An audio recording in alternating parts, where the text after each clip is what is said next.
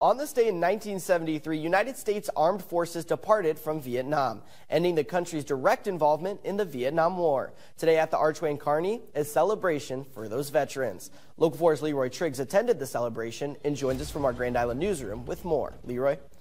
Brandon, the Global War on Terror veterans also was included in that celebration, and they spoke on what they went through during wars in Iran and Afghanistan.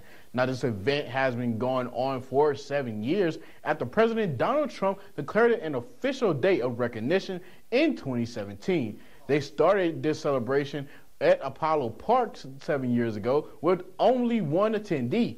And now there's a room full of people that joined them to celebrate Vietnam veterans. Vietnam veteran Denny Hoshka took the lead on this event to help veterans in need. Hoshka says that 50 years after the war, he was able to see that veterans were hurting, misunderstood, and their health is declining. He feels that as time goes along, it's time to just cherish each other a little bit more.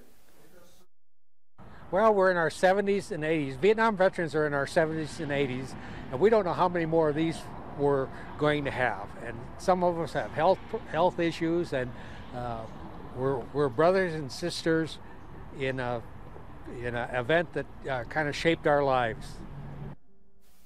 Hoshka says. Oh, says they get together because they have been places and seen things that other people just don't understand.